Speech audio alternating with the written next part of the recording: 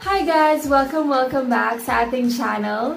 So for today's video guys, um, pause muna tayo sa pagme-makeup. Meron lang akong re-reviewin and gusto kong i-share sa inyo, especially sa mga beginners na vloggers na alam kong makaka-relate din. So when it comes to vlogging guys, I know na gusto natin ma-improve yung ating uh, pag-vlog. So, um, yung lighting, yung video, yung audio, So, gusto natin lahat yon maayos para naman yung mga viewers natin ma-enjoy din tayong panoorin. So, today, um, since I am actually sharing, you know, makeup tutorials and nagsasalita ako in front of the camera while um, doing the tutorials, so gusto ko malinaw yung aking pagsasalita. Um, however, since um, ginagawa ko lang yung vlog ko dito sa room namin sa baba, kasi ito lang yung um, space na free dito sa bahay and walang gumagamit. So, I decided na dito ko na lang iset up yung aking uh, mini studio. So, since mainit dito and, you know, kapag gumagawa ako ng makeup or nagagawa ako ng tutorial, um, of course, kailangan malamig. So, since wala akong aircon dito sa room and I'm only using a fan, yung hangin ng fan is maingay. So, as you can hear naman ngayon sa, sa background is, you know, yung, yung um, ingay ng hangin ng fan. So, that's why I did some research. Sabi ko, um, ano bang gagawin ko para uh, malesen yung ingay sa background. Kasi kahit lagyan ko siya ng, you know, mga background music, um, meron pa din.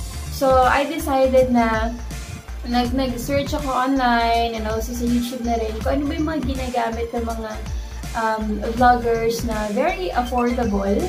Um, and ito nga, nakita ko nga itong um, Boya. So, ito yung Boya BYMM1. So, this is actually a uh, microphone. So, microphone siya for DSLR and also for um, camera phones. Okay, so i-test natin ito ngayon guys. This came in the mail today. So, excited ako gamitin siya kasi gusto ko malaman kung effective ba. So, nakuha ko to sa Lazada. So, ito siya guys. Ayan.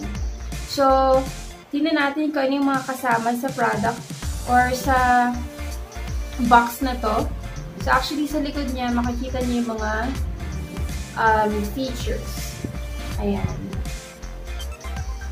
And, ayan. So, meron siyang parang, I'm not sure kung, siguro this one makes it legit. Pero, ito yung brand na lagi kong nakikita sa mga vloggers na sabi nilang mura daw and okay naman. So, kaya, yun, gusto kong itry siya and hopefully mag-work. So, open na natin.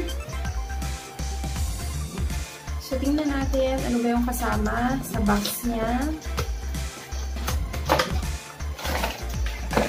And iti-test na natin guys kung kamusta yung kanyang audio. So, ito siya. Pag binuksan mo, ito yung kasama niya. So, ito yung stand niya. Ayan. Diyan mo i-mount yung mic. And, ito yung mic. May kasama na siyang uh, I'm not sure ano bang tawag dito.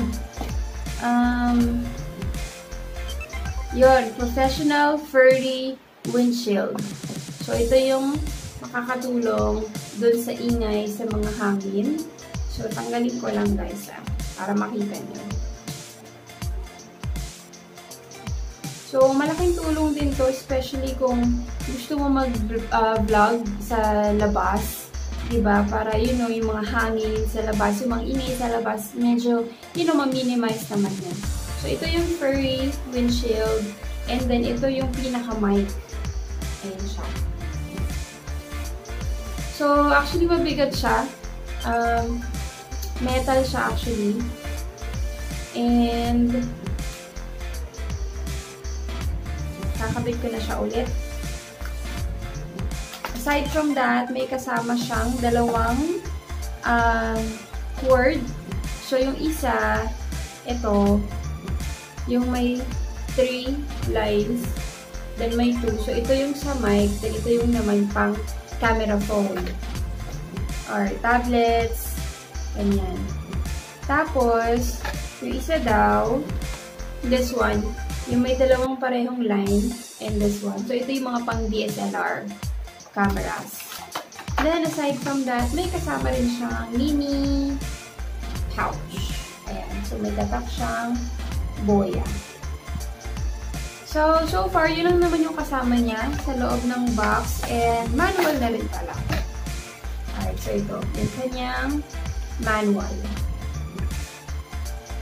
So, let's see. Um, ngayon, ito yung quality ng audio na meron, ko, meron ako without the microphone. So, let's see paano ko siya magpe-perform kapag in-add na natin yung mic.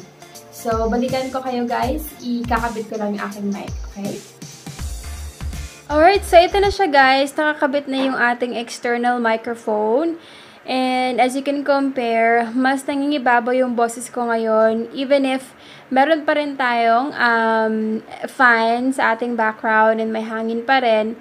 Pero, um, mas okay pa rin siya, mas okay siya kasi, yun nga, mas maririnig niyo yung boses ko um, even if meron pa rin tayong mga background noise. And, which is good. And let's see naman on how it will work kapag we tried vlogging outside. Alright guys, so nandito ako sa labas ngayon. Um, tinetest ko yung um, ating mic. Pero ito, wala pa itong nakakabit na external microphone. So test natin ko kapag meron na and let's see the difference. Okay, so ayan, nakakabit na ating external microphone. Um, so, can you see the difference? Mas um, clear yung aking voice kahit na nasa labas ako and kahit medyo mahangin um, kahit hindi ako masyadong magsalita ng malakas, as you can see, mas clear yung aking voice. So, ito yung test natin kapag tinry nyo na yung inyong external microphone o yung Boya mic and nag-vlog kayo sa labas. Alright guys, final thoughts about this uh, microphone. So for me, kung ako yung tatanungin nyo, yes, uh, bibilhin ko siya. Bakit? It's very affordable and um, very accessible kasi you can order this um, online. Nabili ko siya sa Lazada. What is price? Nabili ko siya for um, 1,150 pesos kasama ng shipping fee doon. So, para sa akin, for its price, very okay siya. Especially if nag-start ka pa lang ng inyong um, vlogging career. And yun nga, if most of the time nasa labas ka and kailangan mo ng um, you know, maayos na audio quality kasi nasa labas ka parati and we all know na maingay sa labas. And yes, I highly suggest that you get the Boya by MM1 microphone. And yun, so sana may na uh, kuha kayong tips or um, may gusto niyo itong video na to. And I know marami makarelate, especially sa mga nagsistart ng kanilang channels. And um, yun, if you like this video guys, please, please like and subscribe. And I'll see you on my next video. Bye!